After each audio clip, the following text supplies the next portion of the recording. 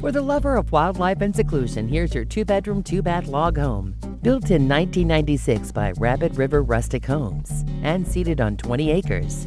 This home is a getaway dream. It's a two and a half story log home that boasts cedar walls, log beam ceilings, plank floors, panoramic views. The main level is home to a fantastic 26 by 30 family recreation room that's complete with a bar and sliders that lead to the patio. Renay Suseland says this is a beautiful year round home, or could be that fantastic retreat or second home. Don't wait to call to see everything this home has to offer.